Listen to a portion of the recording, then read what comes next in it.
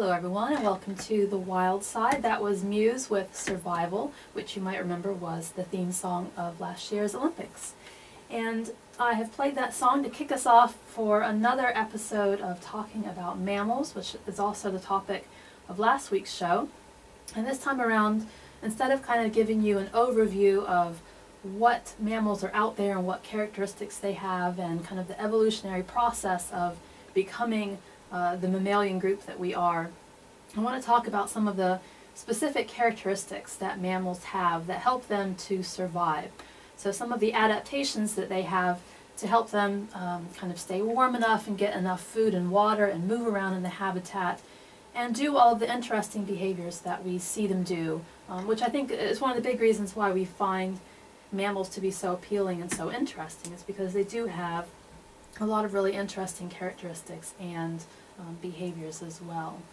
Now I should mention that I was thinking about last week's show as I was walking here this morning and it occurred to me that I might have made a few mistakes in terms of some of the facts that I gave you and I'm not entirely sure, I don't quite remember, so I want to apologize if I did misspeak. I have to say that I had a bit of a migraine and I was on some pain medication that might have made me a bit fuzzy. So this morning I will try to, well this afternoon, I will try to concentrate really hard and make sure I don't spread any misinformation this time around. So first of all I want to talk a little bit about mammal survival and kind of the basics of mammal survival. And one of the most important things that not just mammals but actually all animals need to do is to stay warm enough so that they don't freeze to death, but also to make sure that they stay cool enough so that they don't overheat. So there's this really important balance that animals have to make um, and have to keep so that they don't start going into any kind of uh, shock or overload and then have their systems start to shut down. So mammals are something called endotherms. And that means that we can generate our own heat and then try to keep it within an optimal range. And that optimal range um, that, that, sorry, that keeping it at an optimal range is called homeothermy. So it's kind of guarding that temperature and making sure that it stays within a certain set of comfortable boundaries within which you function in a normal way. So different groups and different species of mammals have different average body temperatures. Um, so for example, something that's really small like a mouse uh, would probably have a very different average body temperature than something quite large or something aquatic like uh, an elephant or a, a, whale, for example. And another thing that we do know is that uh, not just is there this among species difference, but it also kind of depends on what lineage you come from. So monotremes, for instance, tend to have very low body temperatures. They're much closer to those reptilian ancestors in terms of the, the traits that they have, and so they are more likely uh, to have those kind of reptilian traits of being a bit cooler. Uh, and things like armadillos and sloths and anteaters also have quite low temperatures. And these are things that often don't come by their food on a regular basis. They might go for a while in between eating. They can have really slow digestion, and so the whole body just kind of slows down. The metabolism is really low, and as a result, they have this kind of very low body temperature that that they keep themselves at, and that's quite healthy for them, but maybe wouldn't be so great if you measured the same thing in a species like us. So having this kind of autonomy of being able to produce our own heat is really useful because it does mean that we can go out uh, not just during the day when it's warm, but also at night, and this is something that obviously distinguishes us quite a bit from some of the reptiles. Um, so we know that there are lots of snakes that will come out uh, in the first thing in the morning and in, in spring after they've come out of hibernation. And they'll start to warm up on the rocks and they'll start to use that heat to then move around. But then at the end of the day they have to go find a little spot and hide away again. And that's not something that we necessarily have to do. We can function at all times of the day we can also go out during the winter, we can also go out in the cold climates, so there are all sorts of boundaries that we're able to kind of cross because we do have this capacity to keep ourselves warm in environments or at times where it would actually be quite cold if we were the same temperature as the area around us. Now, unfortunately, this does mean, well, fortunately and unfortunately, uh, that we're remaining constantly active. And that means that even at a cellular level, things are always continuing because there always has to be something going on to create this energy that we use to keep us warm. And that's great because, uh, you know, in one way it does mean that we're always doing things and we're always able to keep our bodies active and, and doing all the other things, not just temperature generation, that kind of keep us alive and keep the various systems functioning. But that also means that there is a really heavy price to pay. So there is quite a high energy demand, and if you look at mammals uh, compared to reptiles of similar sizes, we will often be burning five to ten times as much energy as they are. And in fact, um, 80 to 90% of all of our energy is spent on thermoregulation. So that is a huge amount of uh, input that we need to make in order to keep ourselves up to this level, to keep our system going. And the different energetic demands that each species have um, will be influenced by a lot of things. So body size, body shape, amount of insulation, so whether you have blubber or not, whether you have fur or not. The ambient temperature, of course, if it's already really warm outside, you probably don't need to expend too much energy warming yourself back up. Now, smaller animals in general do tend to have higher energy requirements. They have very fast metabolism. If you've ever picked up something like a mouse or maybe a little hamster or gerbil and felt its heartbeat, uh, while you held it in your hand, you'll probably have noticed that its heart is beating extremely fast. And you often will notice how very warm they are. Um, that's one of the reasons why little animals are so snuggly, why we like to have our cats and dogs with us in bed, because they can keep us very warm uh, with all that heat that they're producing. But this is at quite a high cost for them, so they're metabolizing all the time, and as a result, they're always having to eat as well in order to fuel that. And of course, uh, on the other end of that spectrum, larger animals have lower energy requirements and slower metabolism um, to go along with that. But what's interesting is that even within species, not just across different species, you find that there can be quite a lot of variation. So if you take a species, for example, that lives in both hot and cold climates, you can find massive differentiation uh, in the metabolic rate that you tend to see, the basal metabolic rate. So kind of whenever it's not uh, extending itself too much. It's just hanging around, maintaining basic body functions.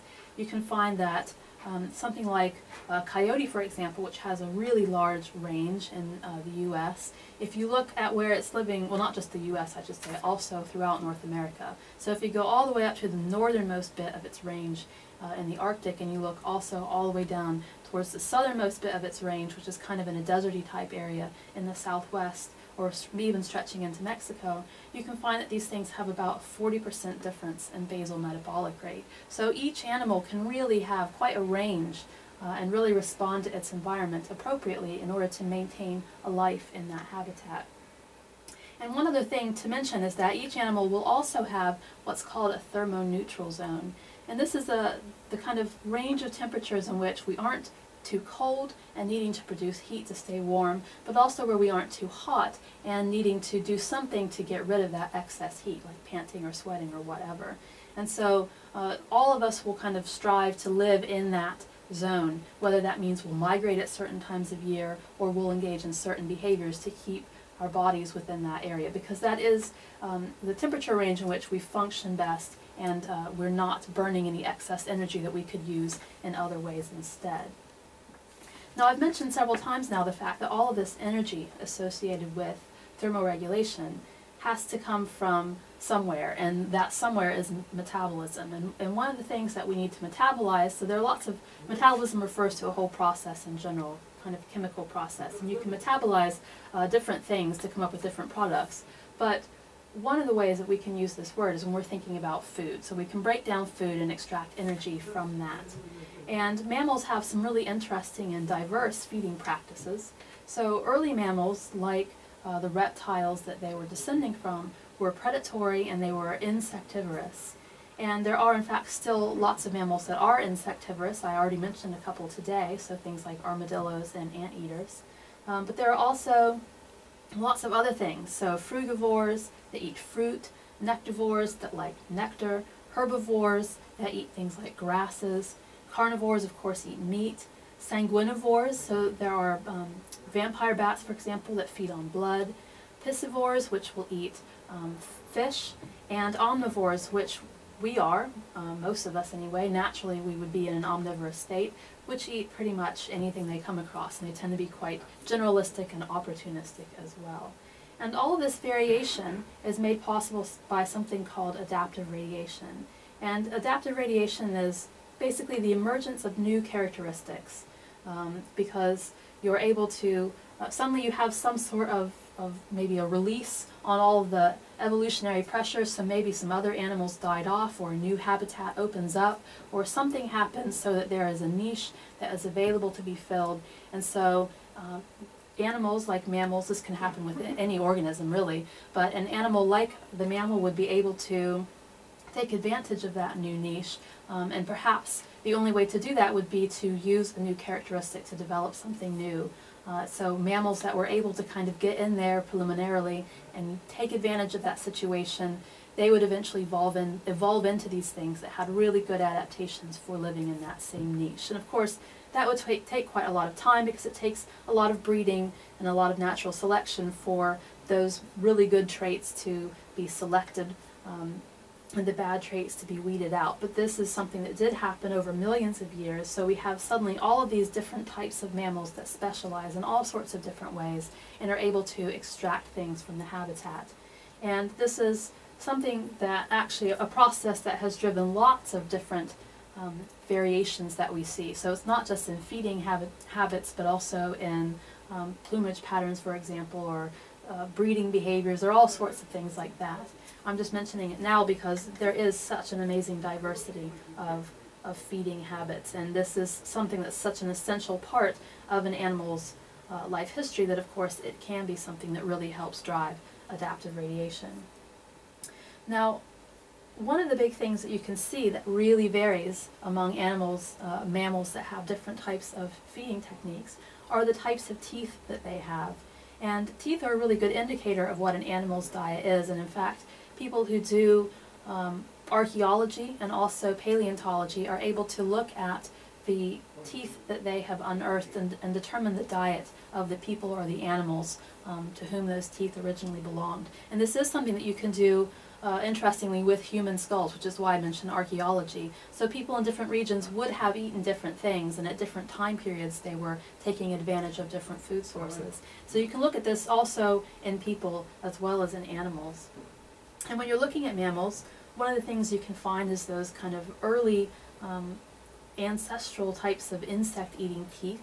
And these teeth tend to be shaped like cones or blades, and they're really good at crushing and piercing those hard shells uh, that often encase a lot of insects, especially the insects that tend to be big enough to have all the energy that these animals want. So those are the animals that, that tend to be targeted the most. Um, interestingly though, ant and termite eaters, and of course ants and termites are also bugs, but um, these guys will tend to have very few teeth at all, and that's because they're using their long tongues to slurp up the ants, and so they don't really need the teeth um, to grind or to capture anything. They can just use their tongue to lick up what they need and then suck it straight down, so teeth are kind of superfluous. In something like a sanguinivorous bat, so the vampire bats, you need to have those piercing canines um, that of course you'll, you'll know already if you've ever seen a vampire movie uh, or any picture of a vampire. So basically that is what the mouths of these bats look like. They have those little canines that kind of um, stick out like little fangs and they use those to puncture uh, the animals that they're feeding off of and then suck out the blood. And then things that are um, interested in eating uh, herbivorous sorts of things, so grasses and leaves and even stems and things like that, as you might expect, those sorts of animals need really broad and flat teeth that are able to grind down and reduce that cellulose because cellulose tends to be really tough. If you've ever had to go cut um, maybe a, a green stem for some reason, you're trying to prune back a tree and you don't have the proper tools, you know that it can take forever to get that to come off of the plant because it's really bendy, it's really pliant, it tends to um, just really want to, to stay in place. And that's the kind of thing that these animals are, are dealing with when they're trying to cut through them uh, in order to chew them up and, and suck them down. And then of course, when you're thinking about the animals that are interested in eating meat, you have to have teeth that are able to potentially grab onto a prey item, to squeeze really hard and crush it to death or suffocate it or whatever the case might be, depending on your hunting technique. You also need teeth that are capable of ripping into that animal and pulling out the meat, and then additional teeth that are good at kind of um, bludgeoning it down so it's small enough into little bits and pieces to swallow. And you know, if you have a cat or a dog, you've probably watched them eat at some point. Uh, especially cats, you'll notice that they tend to be kind of awkward with how they eat things, and they'll kind of chew with their mouth open and just gnaw at something, and it takes them a while to get pieces down. And that's because really their mouths are adapted to kill the prey, but not necessarily chew it up uh, and kind of get that meat down to a little, a nice little bit the way that we can do with our crushing teeth. Um, they just mostly have those sharp teeth uh, to grab onto something and suffocate it to death. So the, the teeth that you have have to be adapted for certain tasks, but they may not be good for all tasks, and it's really all about balancing the different needs that you have to get the energy that you need out of whatever it is that you're eating. Now associated with the different types of teeth, there are often there are also different types of musculature. And I mentioned in last week's show that we do have this uh, specialized musculature in mammals, uh, especially in mammals that are carnivorous, where we have this kind of ridge on the top of our skull and we have these really strong muscles associated with um, the, the skull and the jaw area that allow us to move this jaw that we have that is something that distinguishes us quite a bit from the reptiles. And particular mammals have um, very, very strong musculature because of the things that they do with their jaws. So for example, I've mentioned already the fact that we do have these uh, predatory animals, so things like lions, that will hunt by grabbing onto something and just crushing its windpipe. And they'll just hang on until it can no longer breathe and then ends up dying that way. So they're not actually using those big fangs and paws uh, to really rip something apart. They kill it by suffocating it basically. And so they have to have extremely powerful jaws. And you can see when you look at their, their skull, they do have that sagittal crest, that pronounced sagittal crest to which all of those jaw muscles are attached. And this is what allows them to close on to that prey and then not let go until the job is done. And that's not something that you see to that extent in all mammals. It really is going to depend.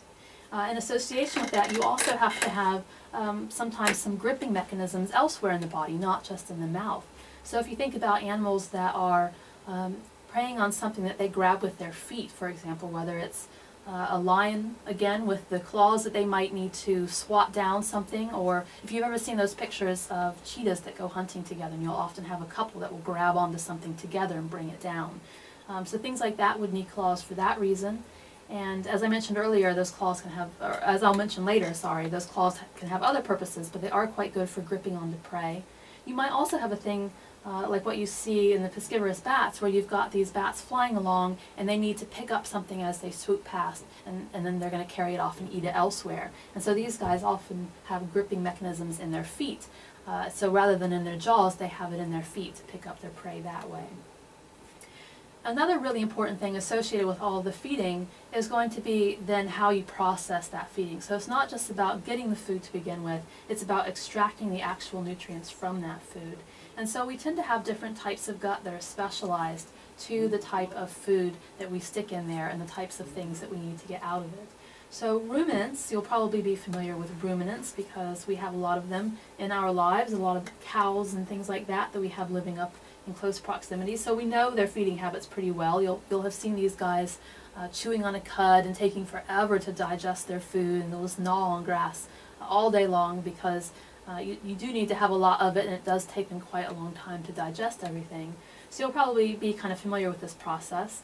Animals like that will have really large intestines because they need to maximize the amount of time they have for digestion. So they have really long digestive tracts so that the food takes forever to pass through it, and that gives the body time to break everything down and extract all the nutrients that the animals need.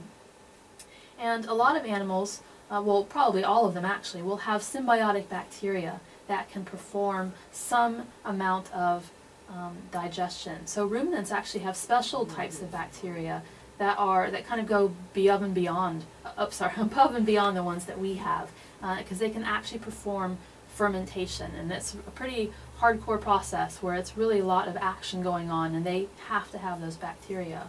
Now we also have ones that help with digestion, but if something happens to our gut flora, we can um, continue to digest. But these other guys because cellulose is so hard to break down and it takes forever to get stuff out of it, they might actually not survive without their bacteria. And certain types of uh, these cows and things that eat these herbivorous food items, they will ha actually have little pouches of bacteria in which they'll store um, they'll store the bacteria in their stomach and that protects them from the other acids in the environment and it keeps these bacteria safe so that they can do this process and not get wiped out by the rest of the digestion within the cow's guts.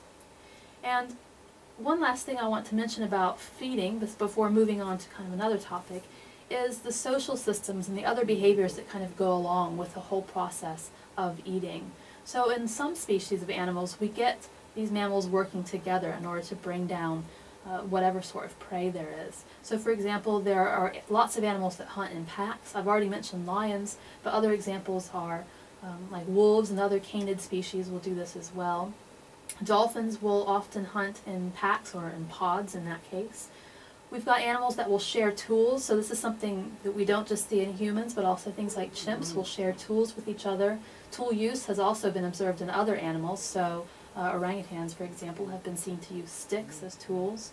And there are lots of species where the adults will actively teach the juveniles how to forage, and that's a very social behavior, of course, because you have to actively teach the young. And now there are lots of species where the young will watch the adults and kind of learn that way, but there are several species like um, meerkats are a really good example where you've got the adults that are teaching the young how to catch and handle and eat their prey items. And if the young don't have that guidance, they probably wouldn't be able to go on uh, and live on their own uh, and kind of do things for themselves once they're adults.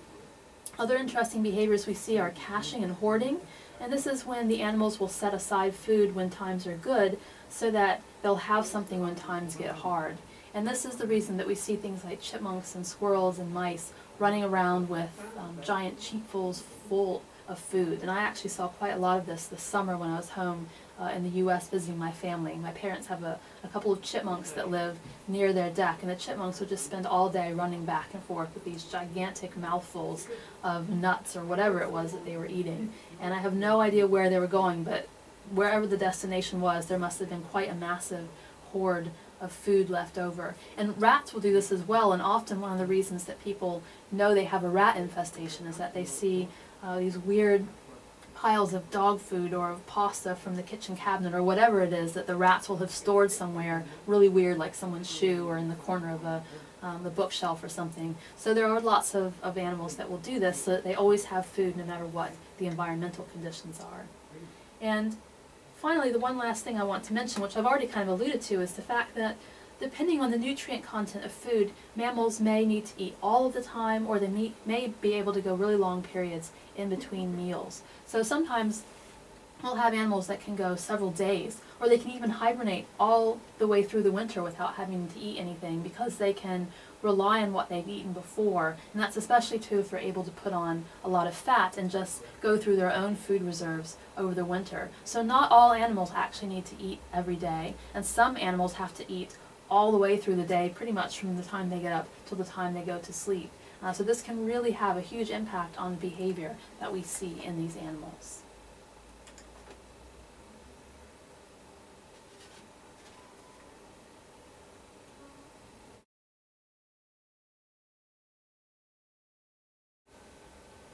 Welcome back to the Wild Side. That was Joan as Police Woman singing Feed the Light. And today we are on part two of a series on mammals. And I think there probably will be a part three because I'm sure I won't get through everything I was thinking of saying today and there are lots of other things I could add on to that as well. So I hope that you are interested in finding out more about this wonderful group of species to which we belong. And the next thing I wanted to talk about today, having already gone through um, kind of basic energetic requirements in the act of feeding, is mammal structure and movement. And structure and movement uh, is interesting because it kind of tells us a lot about, uh, well, the two things go together. If we look at structure, we can figure out a lot about how these animals are moving.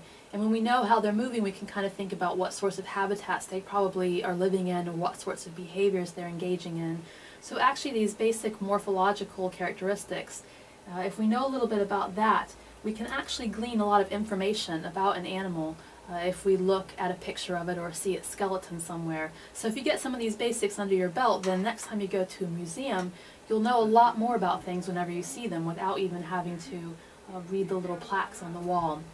Or the next time you go to a zoo, for example, you'll really kind of understand what you're looking at more. So thinking about mammal skeletons, there are really two types of skeletal features that we can focus on. And the first are axial features, and these are things that involve all the bones that are associated with the central portion of the skeleton, the axis, the main axis of the body. So that's things like the skull and the vertebrae and the ribs and the sternum. And then everything else is the appendicular skeleton, and that's all the other bones, so things like the girdles and the limbs and the hands and the feet, all the extremities that are attached to that central bit of the body.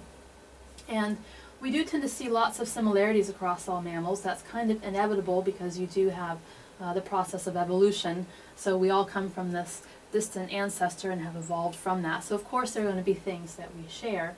But there are also lots of variations that are associated with the fact that we have specialized. There have been many, many years uh, in between now and the time that we did evolve from that common ancestor. We live in different types of habitats and eat different types of food and all that sort of thing.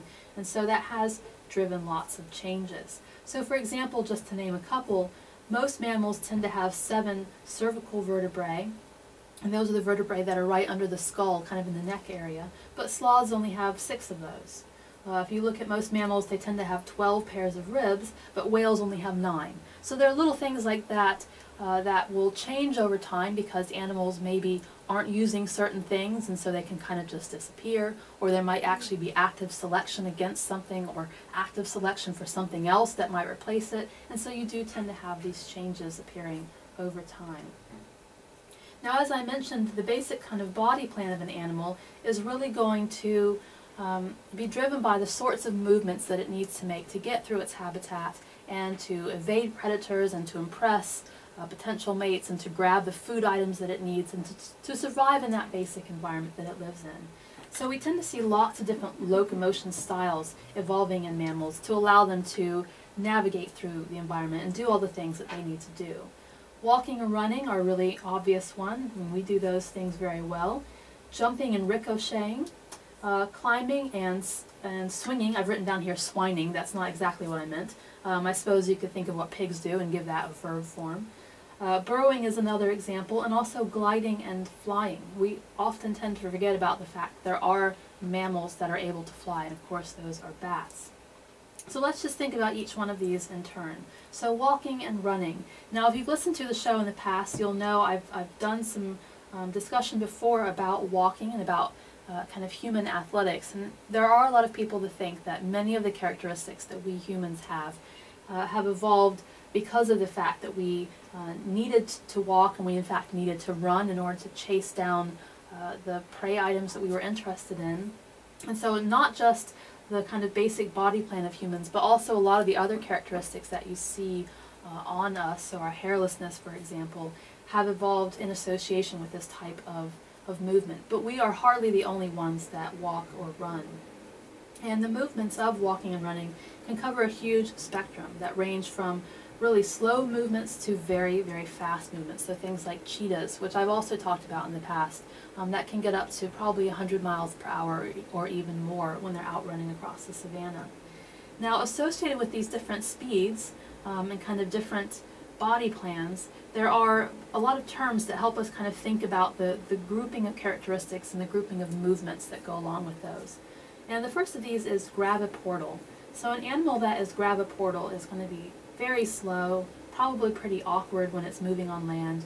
It doesn't move much or cover much distance whenever it does move, and jumping is going to be extremely rare or impossible. And in these animals, what you're mostly going to see is kind of adaptations that allow that animal to carry a lot of weight, because these tend to be things that are really big and they just aren't going to be you know, sprinting around.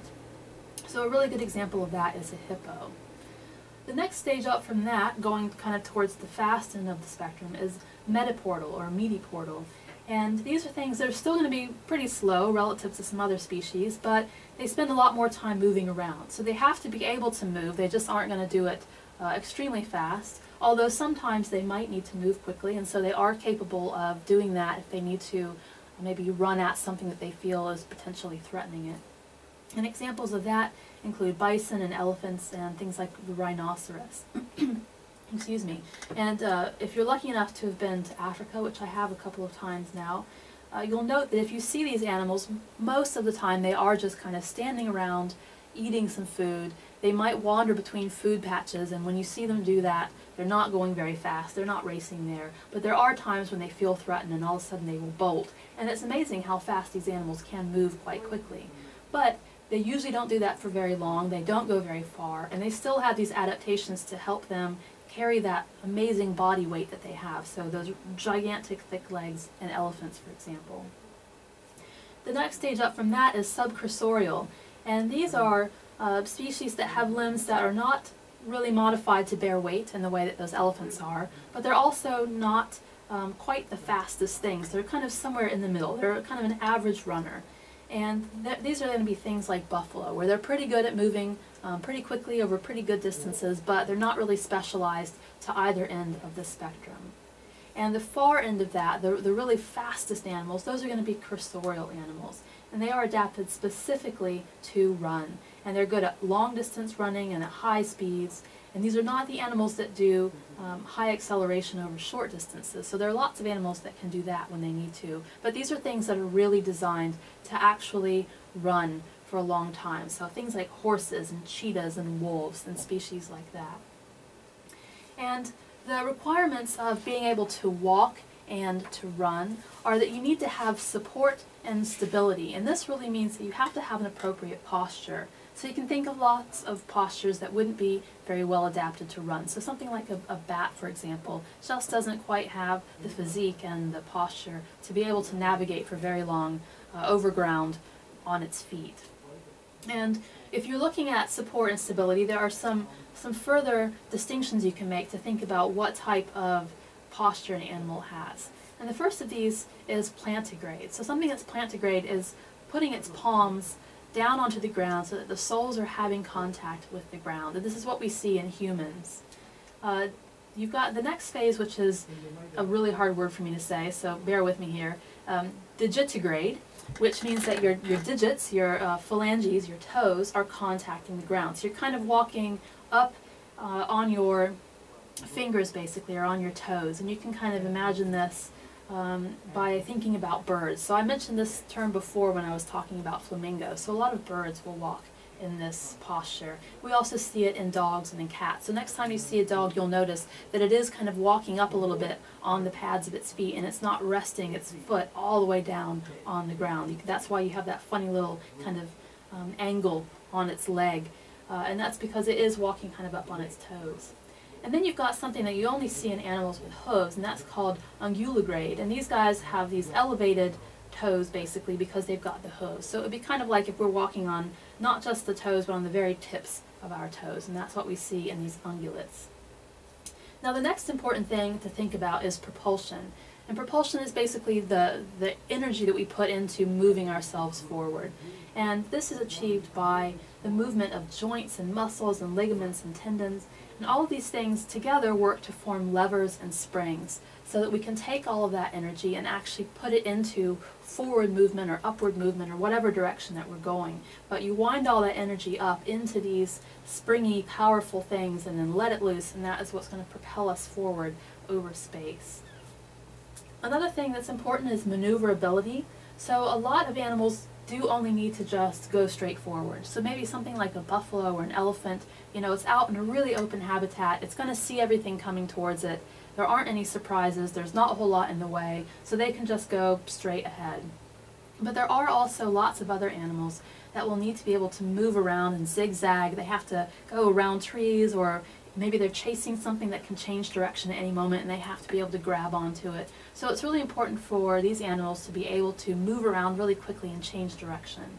And there are lots of things that can facilitate this, but a couple are um, having retractable claws, for example. So in cats, they can get their claws up out of the ground so that it doesn't accidentally cause them to dig in, or they can use them to dig in if they need to so they can kind of adjust direction a little bit. Things with the tail can use their tail to facilitate balance. So if they suddenly have to switch uh, to one side, they can throw their tail up to help them do that or to help them correct so that they don't switch too fast and fall over to that side. So little features like this can ensure that not only are you moving, but you're moving with finesse and you're moving with kind of um, the in the direction that you want to go at the drop of a hat. And finally, the last really important thing is endurance. And this is something that has been uh, really an interesting thing to study in people, as I've mentioned before on the show, because it does seem to be that humans have evolved to be endurance runners, and we were able to evolve to out endure the species that we were chasing down on the savannah. And there have been all sorts of uh, interesting recent studies about the effects that this has had on our physiology uh, and the way that this kind of gave us an advantage.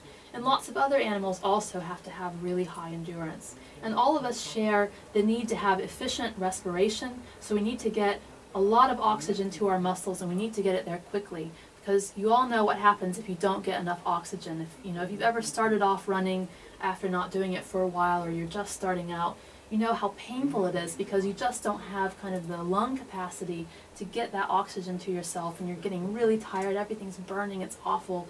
And so these animals have to uh, be very efficient at respiring all the time so that they're always able to fuel these movements. And they also need to have really good heat loss. Um, because of course it's going to be very warm if you're, you're moving and your muscles are generating all this heat and you can overheat very quickly. And that's true even in environments that aren't extremely warm. In places that are warm, that's going to be even worse. And so you have to come up with some mode of getting rid of that heat loss. Uh, sorry, of getting rid of that heat. So whether that's losing all of your fur so that you're always uh, exposed to the, the air and you're getting a breeze, whether that's producing sweat, whether that's panting, whatever the case is, you need to be able to get rid of that heat so that your body doesn't overload um, and pay the price of all of this movement that you are trying to engage in.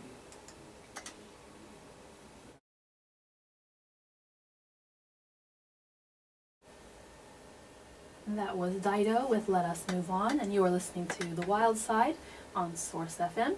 And today I am talking about mammals uh, which is a continuation of a series that I'm doing on mammals. And before the break I was talking about mammals that walk and run and the, the adaptations that they need for that process. And now I want to kind of more quickly go through some of the other things that we see. So another type of movement that is uh, not uncommon is jumping and ricocheting. And these animals are often known also as being saltatorial animals. So things like uh, kangaroos or rabbits, for example. And jumping, of course, involves all four limbs, uh, as you see in rabbits, but it can also involve only two limbs, as you see in kangaroos. And so uh, there are going to be different suites of characteristics that you see depending on what sort of jumping these animals are going to engage in. And both jumping and ricocheting often involve having kind of some of the some of the similar things, but it's just going to be kind of slightly uh, modified depending on whether you're jumping or ricocheting. So you're probably going to have large hind limbs and very large back feet. You probably are also going to have a, a, shifting in your center of gravity and it's going to be towards the rear, but exactly how far towards the rear and, and where exactly it is will differ depending on whether you're a kangaroo type mover or rabbit type mover. A lot of these animal, animals will often have long, thick, and or muscular tails. So uh, if you think about uh, little mice, for example, little kangaroo mice, uh, and kangaroo rats, they'll tend to have really long tails that will kind of go straight out behind them, and those can help them kind of navigate and, and do the kind of balance sort of thing as they're jumping around. But things like kangaroos that are sitting up on their hind feet will use their tails to kind of anchor them and help them sit upright and not fall over. So that tail is going to be slightly different, much more muscular uh, than the one you see in the little rodents. You also, you also can often find things like skin folds under the armpits. So we see this in sifakas uh, and skin folds are found in animals that tend to glide, so this is called the patagium. But we also see it in some of the, the ricocheting and the jumping animals because this skin fold can help them kind of stay up in the air and glide around and make the most of their height while they have it. So there are lots of kind of interesting things that can work together to help these animals bounce around in the way that they do. Now climbing, uh, or arboreal movement, is something that is that, that comes in our ancestry. So we do descend from animals uh, that did a lot of climbing, which is one of the reasons that we have the, the hands and the arms that we have now. So obviously we aren't quite as much into that these days as we used to. We don't have really long arms the way that a lot of monkeys and other primates will have. But we do still have basically what I would call the number one thing that climbing animals need to have, which is really strong and flexible hands that are able to grasp. And you see in animals that climb the development of opposable or partially opposable thumbs to facilitate gripping. You know, these, these are tools that we use in order to hold on to branches to, to manipulate uh, our bodies as they go flying through the treetops. And so this is a really important thing because if your grasp doesn't work, then you aren't going to make it very long, probably because you're going to fall or you're not going to be able to latch on. And so this is a really important tr trait to have. And assisting with that process of grabbing onto things are things like claws, which can help you anchor your feet, uh, rough foot pads that can increase the friction and also kind of help with the anchoring and sticking onto a tree trunk or a branch. A lot of species will have tails um, that can be used for gripping and for balance. And the tails that are able to actively do this on their own and kind of be really um, manipulable, if you like, and they're able to do quite a lot of movement are known as prehensile. So these tails that are able to act completely independently from the body and, latch onto the tree and help an animal so that it doesn't fall off or help it reach something really far away. And animals that are climbing animals tend to have a body plan that's quite long with strong arms and rotary cup joints that allow you to engage in a swinging movement. So if you think about uh, those species that you might see at a zoo, so for example the colobus that will kind of swing um, from one tree branch to the next and, and, move itself through. They'll often be hanging, or a, gib a gibbon's another great example, they'll be hanging um, from a branch with both arms and they'll just kind of swing from one place to another. And being able to have that rotary cut movement means you don't have to do lots of little stages, you can just kind of do one big smooth motion of movement forward. And these guys actually are very fast. They can reach speeds up to like 50 miles per hour when they're doing this kind of movement, so it is quite efficient. Another type of animal, kind of at the other extreme, is the burrowing animals. So these guys are also known as being fossorial or subterranean, so living kind of on the ground or underneath the ground. And they tend to have really short, powerful limbs because they need to be able to dig through often very uh, hard ground, so they have to be quite strong. And the best way to have strength is not to have all that extra limb space, but to have it really close to the body so you can really anchor it in and get a lot of movement uh, of the earth that you're trying to dig up. They also will have large and spade-shaped front paws so they can move a lot of earth at once. If you think about a, a, mole, maybe you've seen a mole at some point, some of those have enormous paws that are, um, you know, the size of their head. It's incredible. You can't imagine what that would look like in a human, but in those guys it's really useful because it can shovel quite a lot of earth which, with each swipe. And a lot of these guys will lose their vision if they're spending a lot of time under the ground. It's completely pointless to be able to see well because there's almost no light. And so they will lose their vision. They'll have um, just vestigial eyes that are there but not really functioning uh, to gain any sort of sense of the environment. But they will then gain tactile sense. So these guys are very good at maybe feeling vibrations or at feeling, um, using lots of fur in order to feel what's happening in the earth around them so they can feel a lot of stuff and kind of create their vision of the world in that way rather than actually seeing it. And some of these will also have adapted dentition for the digging, so their teeth are specifically adapted to help them dig through the ground. And it's incredible, the pictures, if you look online, some of these things have massive teeth that they're using to gnaw their way through the earth, or maybe gnaw their way through a vine that might get in the way or something. So there are lots of tools that they use together to help them to navigate through soil that's often quite packed. And they can do it very quickly as well because some of these species will need to dig themselves out a burrow, not just to stay there for a long time, but to run away from a predator and to stay safe at the drop of a hat. So they have to be able to do this very efficiently. Uh, and so they do have quite a lot of strength that they can muster at any given point. Now, there are a couple other types of movement that I'd like to talk about, but I think I will save that for next week because I'm beginning to run out of time and I don't want to speed through them. I want to give them justice. So I will save that for the future. So we'll have part three of the mammal series next week. And for now, I will leave you with, very appropriately, Tom Petty singing Time to Move On.